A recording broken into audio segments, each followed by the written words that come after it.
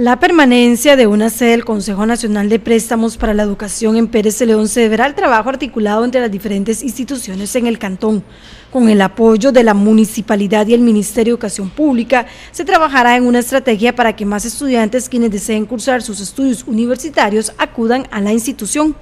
En ese sentido, se habla de la posibilidad de que se capaciten a los orientadores para que tengan toda la información a mano y orienten a los alumnos. Es muy importante tener claro que el tema de lo que es la formación de todos los costarricenses es todo un proceso en el cual sí creemos que tenemos que llegarle en una manera temprana a los estudiantes de los colegios para que ellos sepan que existe la posibilidad de financiamiento para que puedan tener su formación profesional, técnica o universitaria.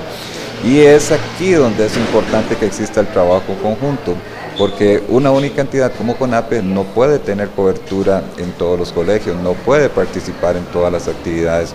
Nosotros lo que sí podemos hacer es apoyar todas esas iniciativas que surjan directamente del MEP, de lo que son sus orientadores, para que puedan tener mayor información de crédito. El trabajo que sigue es importante para que se mantenga la oficina abierta y que más personas acudan a la institución. Eh, es importante que nosotros ya dimos el primer paso, en realidad me enorgullece mucho y me siento muy agradecido con todo el equipo de trabajo en la institución. En un tiempo récord logramos hacer el traslado a esta nueva locación en la cual está dotada completamente todos los equipos eh, telefónicos, infraestructura para red, para acceso a internet, todo lo que es el mobiliario, el equipo y pues nos tiene muy contentos, muy alegres y, y poder cumplir el compromiso de brindar nuestro servicio.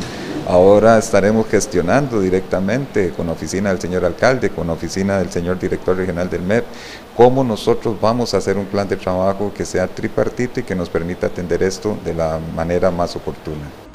Inicialmente, tras un informe técnico, se cerraría la oficina en Pérez Celedón, pero por gestiones de los diputados Rosibel Ramos, Marvin Atencio y Otón Solís, además del apoyo del MEP y de la municipalidad, se logró que permaneciera. El nuevo local está ubicado 100 metros oeste y 25 norte del complejo cultural en San Isidro de El General. En CONAPE se contabilizan 1.300 estudiantes quienes acudieron a la institución desde su apertura en la zona, de los cuales hay 900 activos que continúan adelante con sus carreras.